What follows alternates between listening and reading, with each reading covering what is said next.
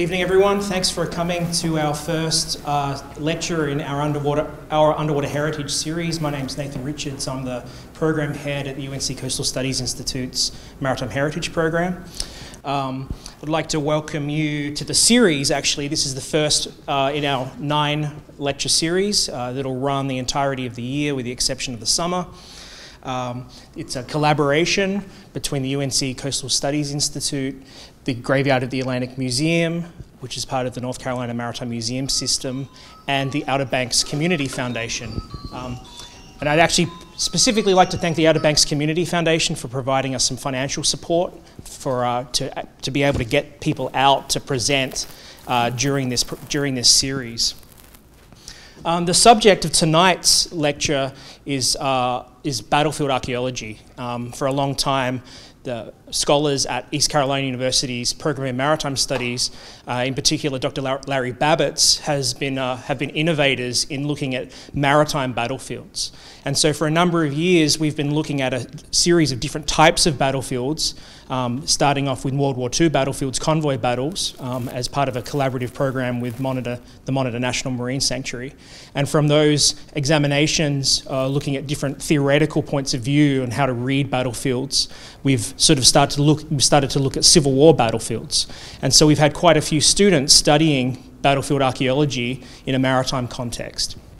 And so that's the subject for tonight. One of the a graduate student from the program in maritime studies, Adam Parker, all the way from Flint, Michigan, of all places, uh, is going to uh, look at the Battle of Elizabeth City. So, um, without further ado, I'll hand it over to to uh, Adam Parker. Thank you.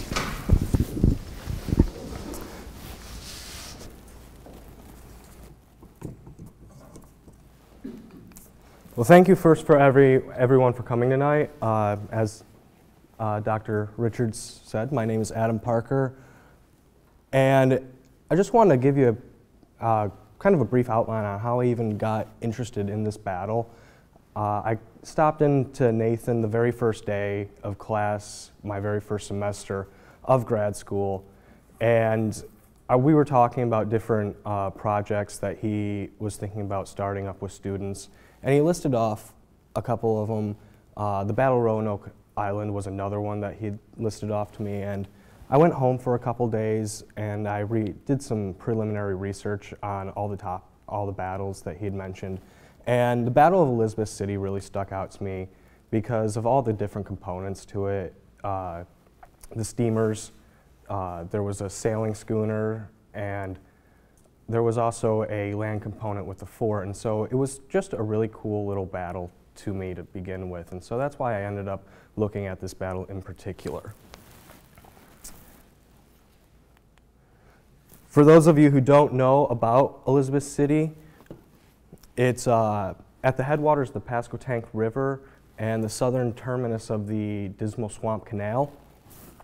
And as you can see, it's very close to the Virginia line. And the Dismal Swamp Canal connected uh, Elizabeth City to the larger port of Norfolk. Otherwise, the main ocean-going inlet in the Outer Banks was Hatteras Inlet, which is much further to the south in Pamlico Sound.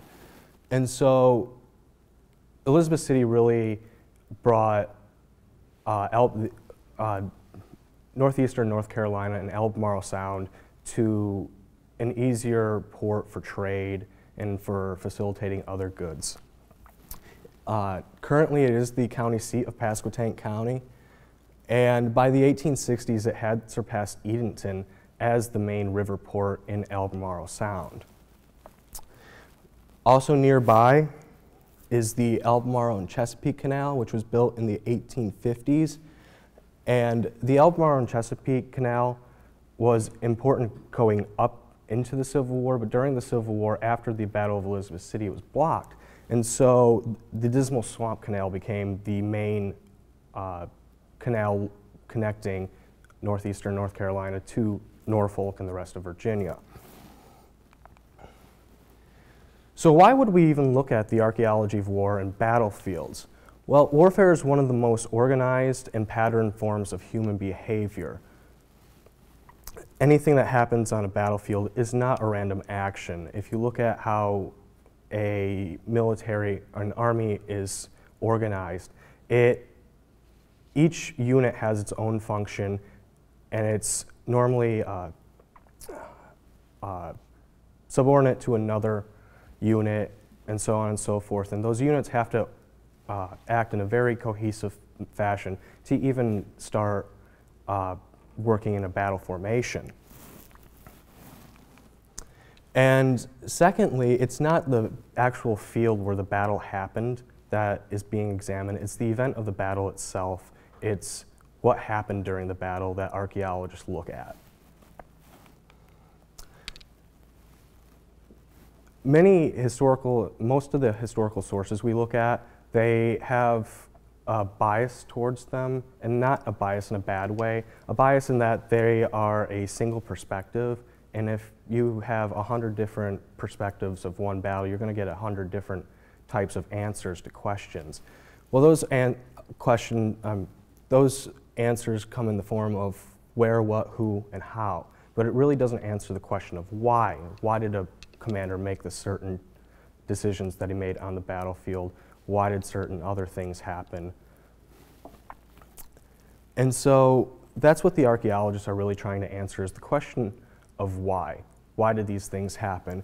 And this archaeology also extends itself into soldiers' camps or POW camps, or even uh, civilian lives during uh, civil unrest. So, how do we look at battlefields? That's one of the big questions. Uh, the American Battlefield Protection Program, which is part of the National Park Service, is the main funding agency for looking at battlefields in the United States. One thing is that they only do look at uh, battles that happen on American soil or involve American forces. So you won't see any reports for them on English battles or anything like that. But they started and standardized methodology called KOCOA. And KOCOA is a methodology that really opens up the terrain of a battlefield so that archaeologists and other researchers can start looking at the battlefield through a soldier's eyes. What do I mean by that? They begin seeing the battlefield in a way that a soldier would and how a battlefield would be advantageous. What aspects of the terrain would help him advance towards the enemy and conquer the enemy? Or if he was retreating, what was going to give him the most protection? Now, KOCOA is an acronym, and the first term of it is key terrain. Now, this is ground which offers either an advantage or denies the enemy an advantage by occupying it. And by occupying it, it might not offer your army a certain advantage, but by denying the enemy that advantage, you're uh, making steps to for the success of your operation. A very big key point in this is uh, high ground and occupying the high ground. An enemy who is coming at an army from uh, an area of low ground is going to have a much harder time fighting as they advance uh, up a hill. Uh, one of the big studies that we see uh, happened with the landing beaches at in Saipan during World War II. And this photo shows how the mountains were one of the big aspects of the Japanese uh, entrenchments and how they dug into the mountains before the Americans landed on the beaches down here, thus giving the Japanese the high ground. The obstacle is terrain which restricts troop movement, and this could also include high ground uh, for uh, advancing armies trying to push in, up into that high ground. Or in the case of Saipan, you see these reef systems up here, which dictated how the Americans could actually land on the beachhead. Cover and concealment are two terms that really go hand in hand. Cover is uh, terrain which would actually offer protection or a feature on the landscape that would offer protection from enemy fire, but it might not necessarily hide you. Concealment, on the other hand, would actually hide you, whereas it wouldn't protect you from enemy fire. So a stone wall is a really good example of something that would provide cover. uh, a lot of these battles that KOCOA has been used on are Civil War and Revolutionary War battles. And so the stone walls we're talking about are about waist high. They can provide cover and protection from enemy fire if you're able to uh, duck beneath them, but most likely the enemy is still going to be able to see you. A forest, on the other hand, is going to be able to conceal a lot of your movements from the enemy, but because trees are not walls, they are not going to stop the bullets nearly as effectively. A ridge line from a high ground position also does the same thing, where you might be able to uh, stop, you might be able to remain concealed from the enemy fire, but if they have heavy artillery, then they're going to be able to bombard your position. Observations and fields of fire. Observations are being able to observe the enemy mo enemy's movements without being observed yourself. Fields of fire are looking at what capabilities each weapon that is at your disposal is going to uh, give you. In the case, and in this case, this is actually a simplified version of one of the things that we're going to look at later tonight. This is a couple of the ranges of the Confederate guns as the Union formation approached their position at Fort Cobb. And so you can see how, that's not what I wanted. You can see the different range aspects that each ship and fort gun would have had as they uh, fired on the Union fleet. This thing is tricky. Avenues of approach and retreat are really connected a lot with transportation systems, but they also are uh, uh, con connected with natural terrain features as well. What we see in Saipan is that the reef systems actually dictated how the Americans were going to move on the beachhead and where they could actually move. Once the Americans pushed onto the island, then they could utilize the road features on the island to reinforce their fronts, or the uh, Japanese also may have been able to use these same uh, road transportation systems to be able to either retreat or reinforce their fronts as well. There's a lot of problems with looking at naval battles from that aspect, though, and a lot of the key terms have to be redefined. Key terrain in an open ocean battle is uh, non-existent. There's no high ground. It's a flat plane. It's a flat surface that you're fighting on. Similarly, avenues of approach and retreat, it's wherever your boat can go and however much draft you have beneath your boat or ship. And so I started looking at how naval theory and how it's significantly in, at its core different from terrestrial theory, terrestrial military theory, can really be looked at and applied to naval battles in particular. And one of the first things that I discovered was that modern naval tactics are based in maneuver warfare. What that means is that naval warfare se seeks to uh, exploit the weaknesses of the enemy. And so you might hit one of his weak spots so that he has to therefore reinforce that, taking away his resources from another spot, in which case you would redirect your forces to that new weak spot until he can no longer keep up reinforcing or resupplying his forces. This is in a lot of opposition to what terrestrial warfare is, which is called attrition warfare, where basically it is each side going head to head in an open field in a lot of cases until they can no longer reinforce.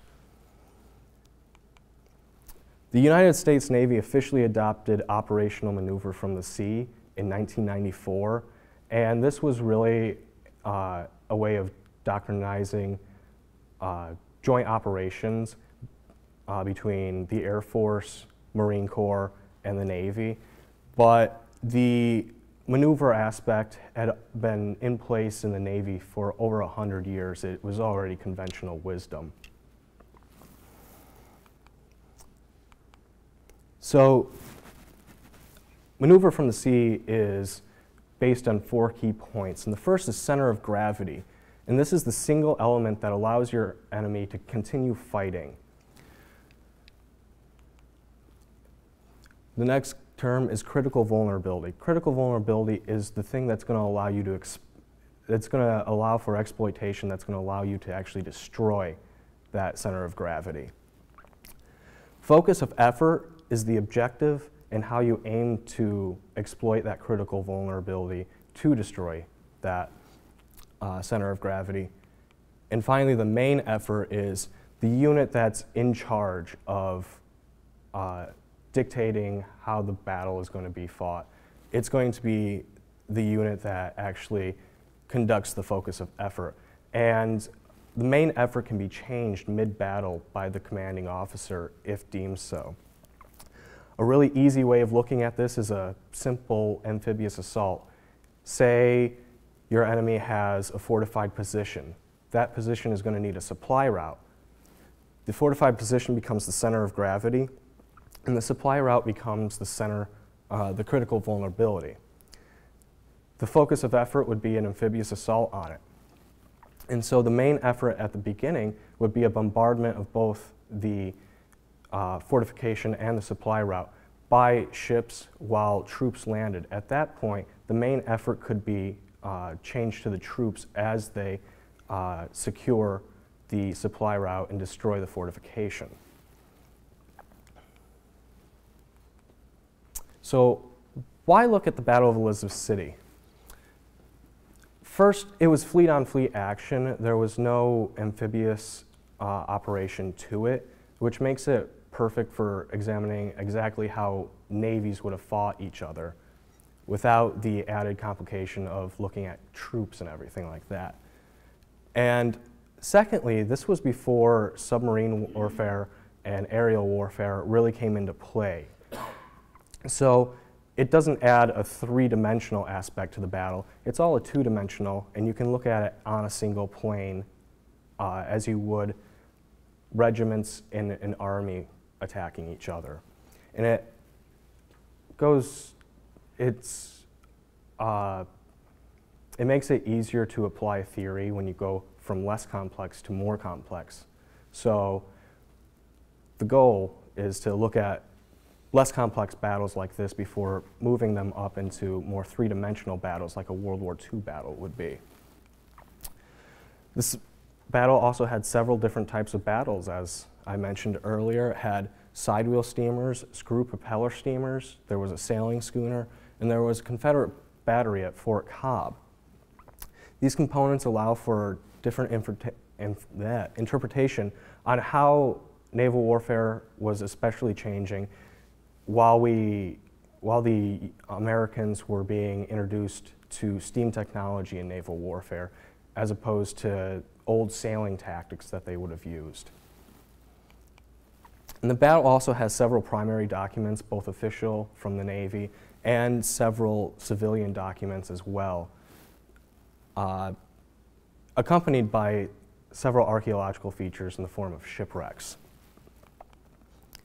And so there's a lot of information for us to look at and really examine this battle. So no battle happens in isolation from uh, any other battle. They're all part of a campaign or a strategic goal. and so the beginning of the uh, uh, strategy for the uh, Union to really start pushing into northeastern North Carolina came in the form of the Burnside expedition. No, I'm sorry. That title for the uh, slide is wrong. It first came in the uh, form of the battle at Hatteras Inlet. Hatteras Inlet was the base for a lot of Confederate privateers uh, in the early part of the uh, Civil War, and they were doing a lot of damage to Union shipping. And so all the shipping bosses in New York were really pushing the union higher, uh, higher ups to really do something about the privateers. And so they formed an expedition to Forts Hatteras and Clark at Hatteras Inlet in August of 1861. And the main uh, objective was to take control of the inlet. And so after one day of really heavy shelling and a little bit on the second day, the Confederates ended up surrendering, giving the Union control of Hatteras Inlet. This was not only a strategic victory, but it was also a morale, morale victory for the Union. They had recently just been defeated at the Battle of the First Bull Run. And so this was the very first major Union victory of the war, and it gave a much needed boost to their morale. The original plan with Hatteras Inlet was to block it up, but some of the officers convinced uh, Lincoln and others in his cabinet not to do so, and instead used the position they had gained in order to uh, push into eastern North Carolina, which gave uh, rise to the Burnside expedition. The first battle of the Burnside expedition was the Battle of Roanoke Island, fought on 7th and 8th of February of 1862. It was commanded by General Burnside on the Army component and uh, Admiral Gold, uh, Louis Goldsborough on the uh, naval component of the expedition. Uh, the Roanoke Island, as many of us in this room may know, is surrounded by two different channels. Both of them are the only channels allowing for, for access to Pamlico Sound from Albemarle Sound. And therefore, it was a strategic point to really take control of, to control all of Pamlico Sound in particular. And therefore, heavy shelling con, uh, commenced on February 7th and continued for the rest of the day. Union troops were landed during, throughout the day, and the next day, shelling really stopped for the most part while the troops instead attacked from the uh, inland parts of the island to take the island completely on the 8th. It also, so the outcome was that Pamlico Sound was almost now entirely in federal hands. It also gave, gave the Union a base of operations for further pushes into eastern North Carolina. Now, the Confederate fleet that was here at Roanoke Island fighting that day ran out of ammunition and ended up retreating to Elizabeth City, which is uh, where a couple days later they met, the uh, Union forces. But before we can really start talking about the historical narrative and the archaeology that me and Dr. Richards completed, we really have to look at the previous archaeology that had happened at Elizabeth City. The first is the CSS Black Warrior. It was mapped out and documented by North Carolina's Underwater Archaeology Branch in 1999 and 2000. And in 2001, a gun carriage was brought up to be preserved from the uh, wreck site it was a centerboard schooner that was pressed into service not long before the Battle of Roanoke Island, and therefore uh, it was really hastily put together and armed. It was ended up being burned at the uh, Battle of Elizabeth City to avoid being captured. And here's the picture of the uh, preserved uh, gun carriage, courtesy of Mr. Bruce Long. The second piece of archaeology that we see in Elizabeth City in the vicinity or associated with the battle is the wreck of the CSS Appomattox. There were two vessels that made a retreat from Elizabeth City uh, on the day of the battle, and they were CSS Beaufort and CSS Appomattox. When they reached the locks at South Mills, uh, Beaufort was able to make it through, but Appomattox was too large to fit through the locks and therefore was sailed a little bit ways down the canal and ended up being sank. Uh, it was documented by a four-man team uh, under permit from the uh, North Carolina Underwater Archaeology Branch from 2007 to 2010. And it was positively identified actually by an engraved spoon from one of the crew members. So just a little general information about the Battle of Elizabeth City. It was fought on the morning of February 10, 1862, two days after the Confederate surrender at Roanoke Island. And the Confederate forces consisted of five steamers, a four gun shore battery, and a, a sailing schooner. The Union forces consisted of 13 steamers uh, commanded by Commander Stephen Rowan, and the Confederates were commanded by Flag Officer Lynch Rowan, who has an awesome mustache, I must say. So, coming up with how I wanted to approach my archaeological survey and what my goals for it were, were first I wanted to really pinpoint where the battle had happened using GIS modeling uh, and then going in and looking at spent ordnance to see if we could find any archaeological evidence of those spent ordnance pieces.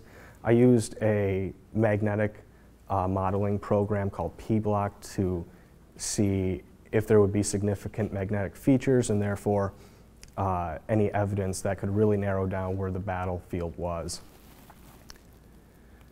And the second objective was to find the remains of CSS Seabird, which was the Confederate flagship. It was sank at the battle, ran by USS Commodore Perry, and nearly split in two. And it has to date not been found, and so I was really hoping to find uh, that wreck as well with this archaeological survey.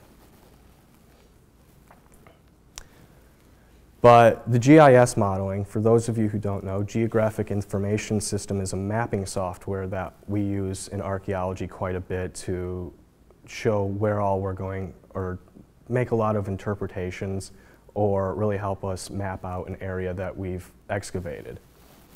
And so I used it in order to narrow down a search area for uh, the survey. There were several steps used in creation of this. First, the landscape had to be recreated as it was in 1862.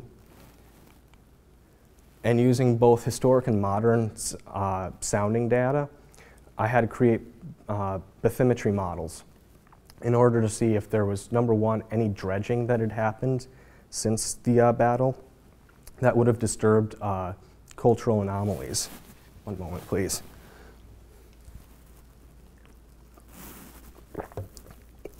A second reason for doing a historic bathymetry model was also to be able to place the, uh, uh, all the vessels in an area where they actually would have been able to float and not become grounded. And the third part of the GIS modeling was to break the battle down into distinct phases where uh, I could describe what was happening in that phase and really look how the ships were interacting with the terrain, the river, and with each other not only in space, but also through time. And so I used a modern map as my base map from NOAA, and then two other maps from the time period to get the historic sounding data. And so the first one is from 1860. And we, I used this one first primarily because it was closer to the time period that the battle was fought, and it shows a lot more information along the banks of the river here, and a lot more sounding data in the river itself. Whereas our 1855 map right here shows a little bit of information. Uh, the problem was that this map ended right here on the actual map. And this one allowed me to map more of the river to really look at how the approach by the Union would have been made and their avenue of approach. So this is the uh, GIS model of the landscape circa 1862. Uh, as we can see, Elizabeth City is right here. And then marshlands and woodlands really are uh, predominantly on the uh, Camden County side of the river, but there's still some along the uh, uh, Pasquotank County side. One of the problems with these maps is that they don't show any information for what's down here on either one. And so therefore I had to basically assume that this was all cleared land in this area without any information to tell me any differently. It was one of the assumptions I had to make. But these are the bathymetric models. Uh, as we can see, in 1862, a lot of the river in the main area was either 8 to 12 feet deep, and we see the same depth, roughly the same depth in this area, which tell, told us that not a whole lot of dredging had happened that would have disturbed uh, cultural anomalies.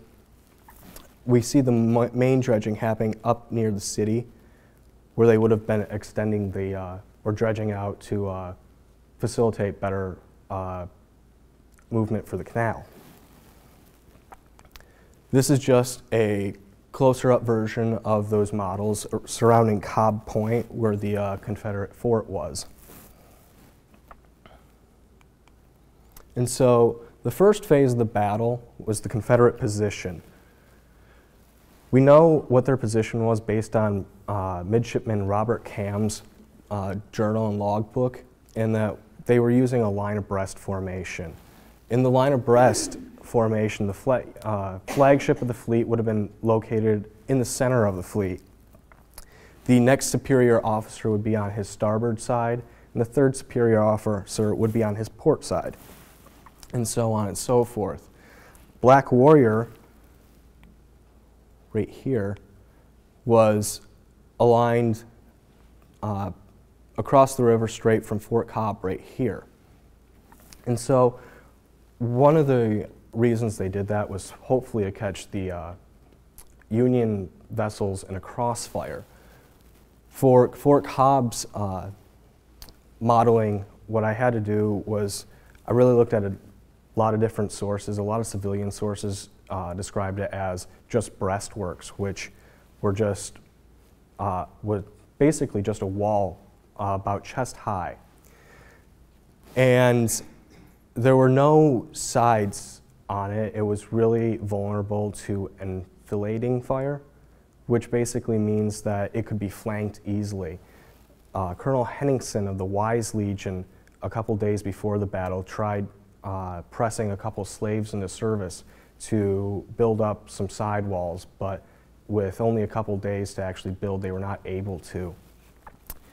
They fort had four guns, three of which were only able to be pointed downriver and a fourth one was mounted on a barbette mount, which means it had 180 degrees of motion for it, but it could not, uh, and it could be fired across the river, but reports say that it could not be fired behind the actual fort. So after, uh, if the Union vessels passed it, they were, uh, the fort was completely vulnerable at that point. Now, a couple of defenders, just very quickly. This was CSS Fanny. Actually, while it was still uh, a USS vessel, it was uh, taken by Confederate forces at Chicamacomico, uh, and then registered in the uh, Confederate Navy. We see CSS Ellis right here after it was captured later on. And then CSS Appomattox right here, while it was still operating under the name Empire as a POW truce vessel. Now, this is confusing, I know.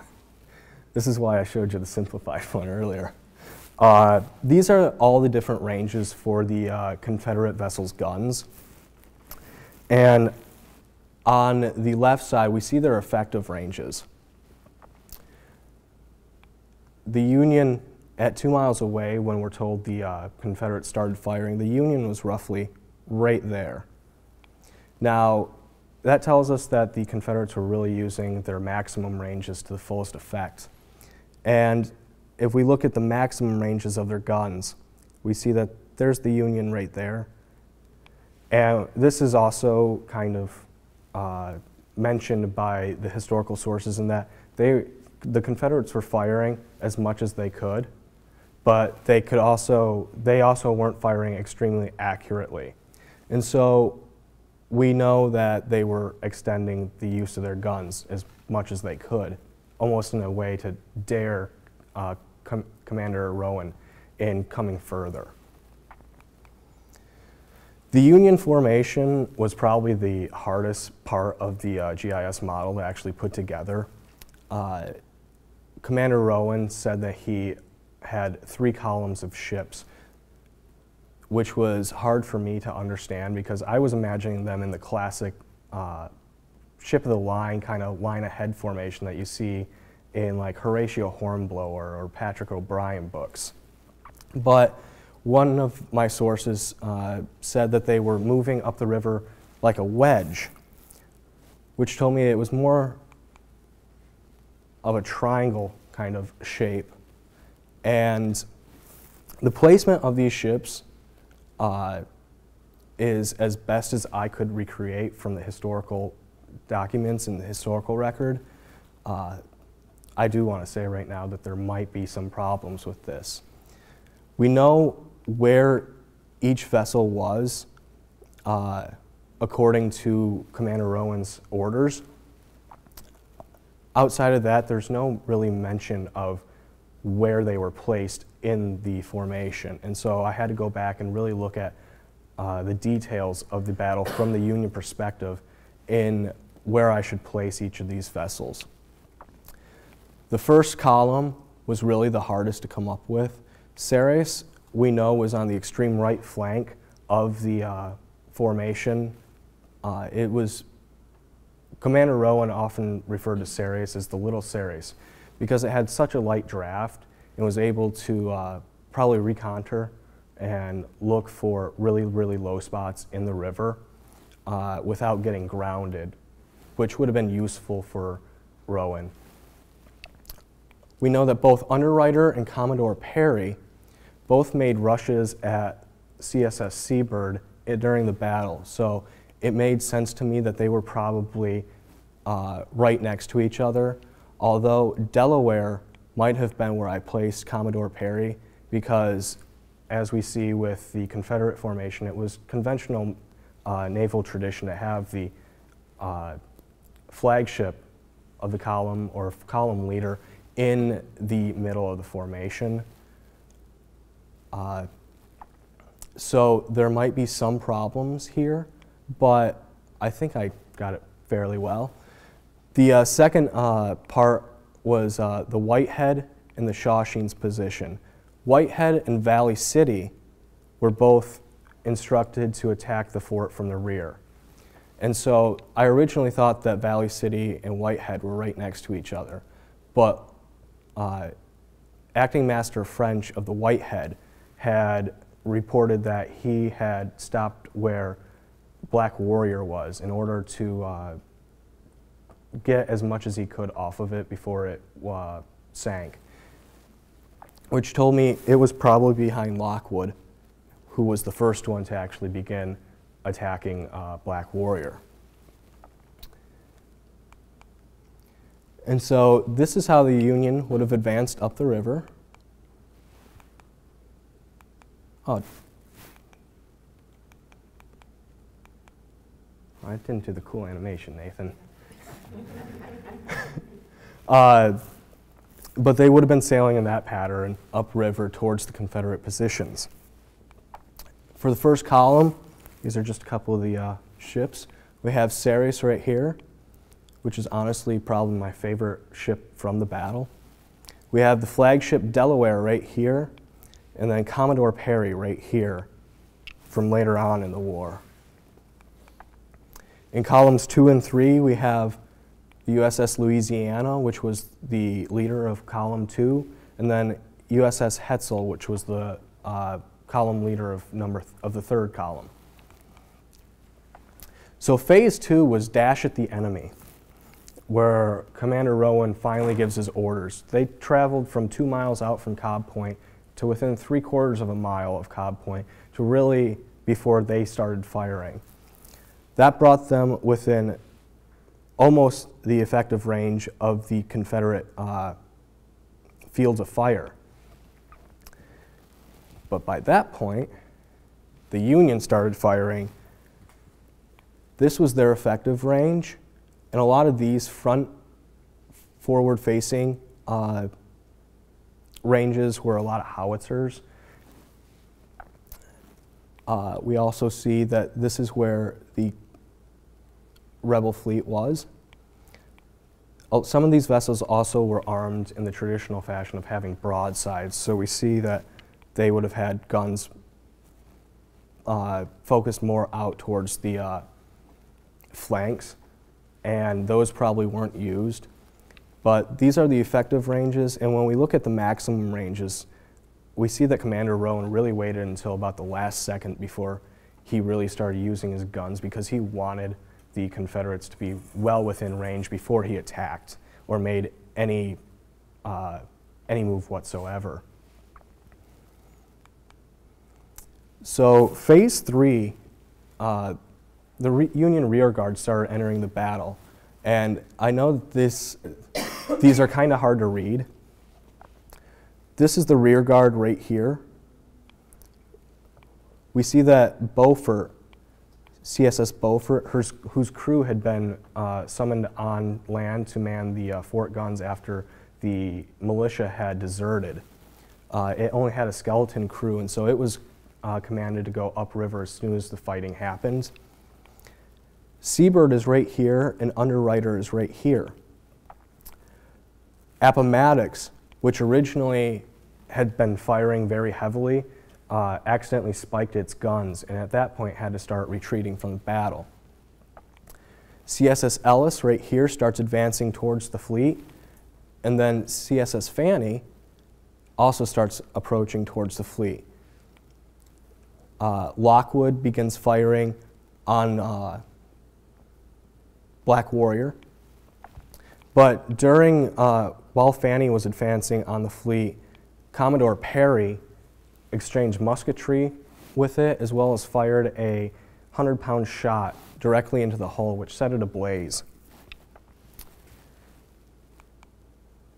Now, the Union rear guard really couldn't do a whole lot while the first two columns were dashing on the Confederate fleet because they were too, uh, all the ships were too bunched together and they didn't want to hit friendly forces. And so they had to wait uh, before they could get their turn at start, starting to fire. And we start seeing their uh, assorted ranges right here. Phase four of the battle was close quarters. Uh, by this point, a couple different ships right here started ganging up on uh, CSS Fanny as it burned, uh, exchanging musketry with uh, its uh, sailors who were uh, retreating toward shore. others, other vessels started really threatening the fort with their fire. Whitehead began its final approach to Black Warrior. Ceres and CSS Ellis, uh, uh, Ceres boarded CSS Ellis, and therefore uh, there was some pretty uh, intense combat going on on that vessel. And finally, Commodore Perry rams and sinks Seabird. You'll notice that a couple of these vessels haven't moved, and that's because I wasn't able to find enough documentation to really outline what they did during the battle. And so without that information, I couldn't put them in the battle space through time. But uh, as this vessel right here is Shawsheen, and it was originally going to board uh, Fanny much the way that Whitehead was with uh, Black Warrior, but it was waved off by uh, Delaware and so it uh, began pursuing the uh, retreating vessels with Underwriter. And uh, one of the vessels ended up sending men over to retrieve the flag from Fanny before it completely burned and sank. And as Beaufort and Appomattox retreated, Underwriter and Appomattox were uh, exchanging howitzer fire uh, underwriter from its bow, and Appomattox from its stern. And these are the fields of fire for those two, uh, for those two uh, vessels. The battle's aftermath.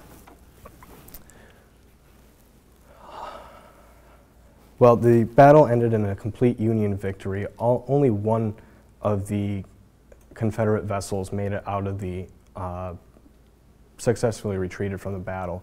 Ellis ended up being captured by Union forces. And so the Union took control of Elizabeth City and within two days, Edenton as well, which gave them almost complete control of Albemarle Sound. Secondly, the back door to Norfolk and the Dismal Swamp Canal were taken by Union forces. They ended up blocking up the Albemarle and Chesapeake so that it couldn't be used. And so the Union now really held the only way to get into uh, Norfolk and Gosport's back door. And finally, the Mosquito Fleet, North Carolina's only, only defensive fleet, uh, was destroyed and was never able to mount a resistance to the uh, Union occupation again for the, time, for the rest of the war. The picture, which I think is one of the coolest pictures I've ever seen, is uh, uh, when uh, Ceres boarded Ellis and the final stage, final stages of the uh, battle. Now, search for Seabird. Uh, myself and my classmate Michelle Panico, accompanied by uh, boat support from Mr. Bruce Long, in the middle of September, we dove on a couple of sites that were identified by a 2009 side scan survey done by Mr. Barry Collins. And the first day we dove on all but, we dove on the sites that had lesser potential so we could rule them out.